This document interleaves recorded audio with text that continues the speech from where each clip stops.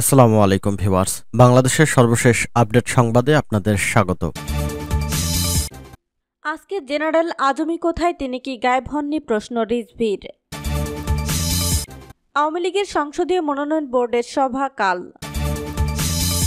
বরিশালে বোমা বিস্ফোরণে এসআই সহ তিনজন আহত। পাকিস্তানের প্রধানমন্ত্রীকে হাইকোর্টে তলব। নতুন প্রজন্মকে ধ্বংসের ষড়যন্ত্র করা হচ্ছে, বলছে জামায়াত। এবং সর্বশেষ জানিয়ে দেব, একশো চুয়াল্লিশ ধারা উপেক্ষা করে দিল্লি অভিমুখে পদযাত্রা কৃষকদের। শুনছিলেন সংবাদ শিরোনাম, এখন বিস্তারিত। আজকে জেনারেল আজমি কোথায়, তিনি কি গায়েব হননি? প্রশ্ন রিজভির। আওয়ামী লীগের শাসনামলে গুমখুনের অভিযোগ তুলে বিএনপি সিনিয়র যুগ্ম মহাসচিব রুহুল কবির রিজভি বলেছেন প্রধানমন্ত্রী শেখ হাসিনা বলেছেন, সাবেক প্রেসিডেন্ট জিয়াউর রহমানের সময় নাকি সেনাবাহিনীর অফিসারদের দমন করা হয়েছে, অনেককে ফাঁসি দেওয়া হয়েছে। সেনাবাহিনী বিরুদ্ধে বিদ্রোহ করলে তো সেখানে বিচার হবেই। জিয়াউর রহমান তো আইনি প্রক্রিয়ায় বিচার করেছেন, সেনা আইনে তাদের বিচার হয়েছে। আর আপনি সামরিক কর্মকর্তাদের গায়েব করে দিয়েছেন, অদৃশ্য করে দিয়েছেন, আজকে ব্রিগেডিয়ার জেনারেল আজমি কোথায়? তিনি কি গায়েব হননি? আপনার সরকারের সময় তারা গায়েব হয়েছে।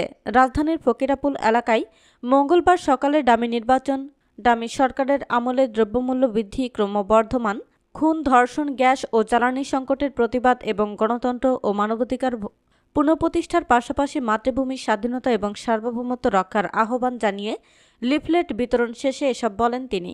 গুমখুনের বিচার করা হবে বলে দাবি করে রুহুল কবির রিজভি বলেছেন, আওয়ামী লীগ সরকারের আমলে বিএনপির অসংখ্য নেতাকর্মীকে হত্যা করা হয়েছে। ইলিয়াস আলী চৌধুরী আলম সহ অসংখ্য মানুষকে গুম করা হয়েছে। আন্তর্জাতিক তদন্তের মাধ্যমে আওয়ামী সরকারের সব আমলের অপকর্ম হত্যার বিচার করা হবে। তিনি বলেছেন, সাত জানুয়ারির দামি নির্বাচন জনগণ প্রত্যাখ্যান করেছে। এর বিরুদ্ধে মানুষ জেগে উঠেছে। সরকার পতনের লক্ষ্যে সবাই এখন মাঠে আছে, আন্দোলনে আছে। গোটা জাতি ঐক্যবদ্ধ। সকলে মিলে ঐক্যবদ্ধ হয়ে এ সরকারের পতন ঘটানো হবে, ইনশাল্লাহ। আওয়ামী লীগের সংসদীয় মনোনয়ন বোর্ডের সভা কাল।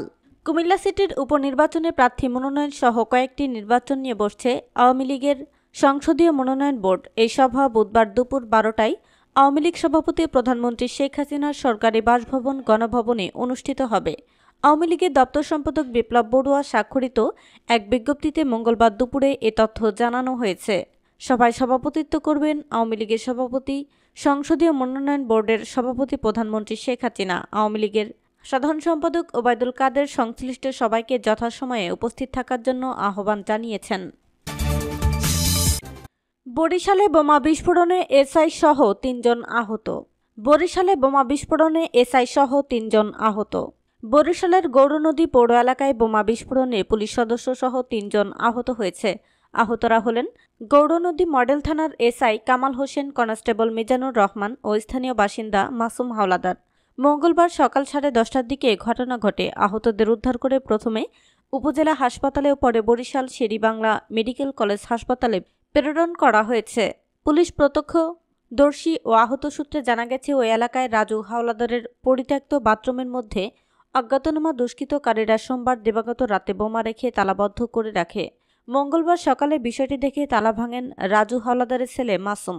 পরে তিনি একটি বালতির মধ্যে দশ থেকে বারোটি বোমা দেখিয়ে পুলিশকে খবর দেন।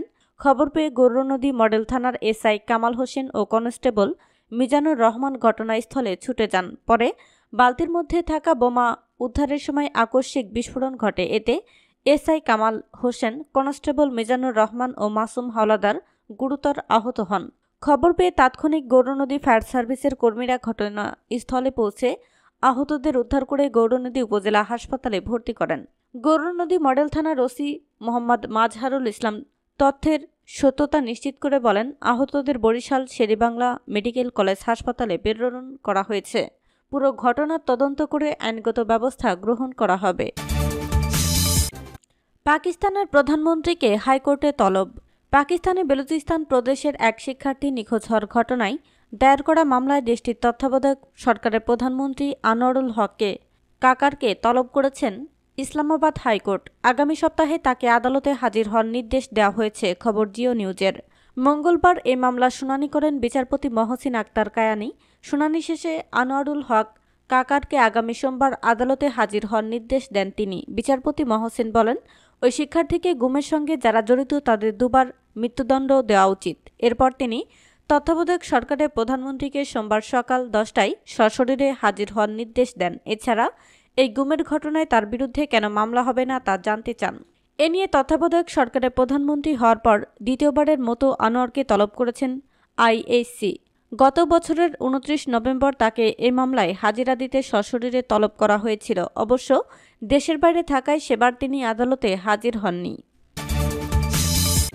নতুন প্রজন্মকে ধ্বংসের ষড়যন্ত্র করা হচ্ছে বলছে জামায়াত।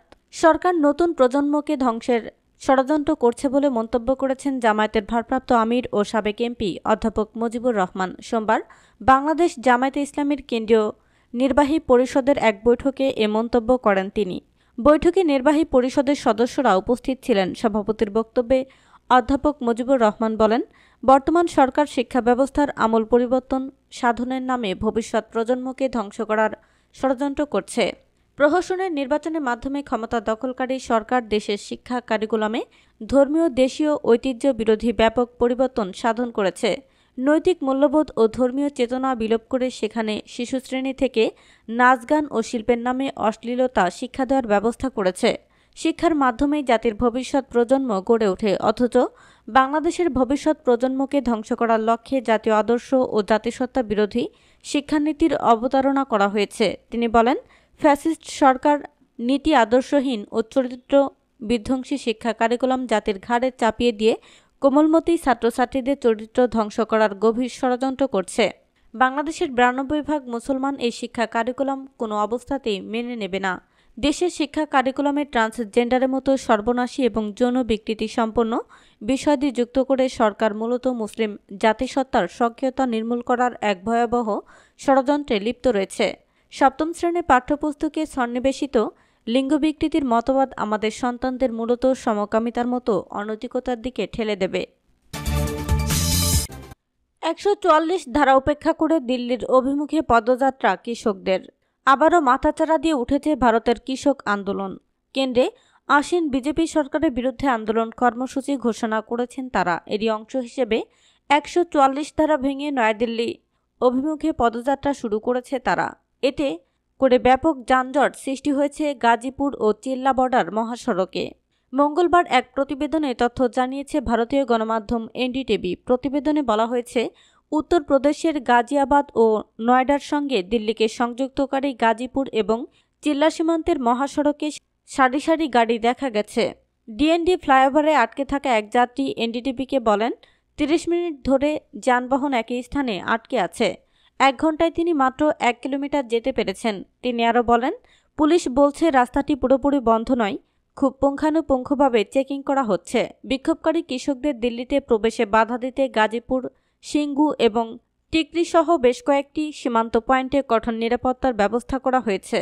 পাঞ্জাব, হরিয়ানা, উত্তরপ্রদেশ, মধ্যপ্রদেশ সহ বিভিন্ন রাজ্যে সক্রিয় কৃষক সংগঠনগুলোর দুই জোট কিষাণ মজদুর মোর্চা এবং সংযুক্ত কিষাণ মোর্চা এই পদযাত্রা কর্মসূচির ডাক দিয়েছে।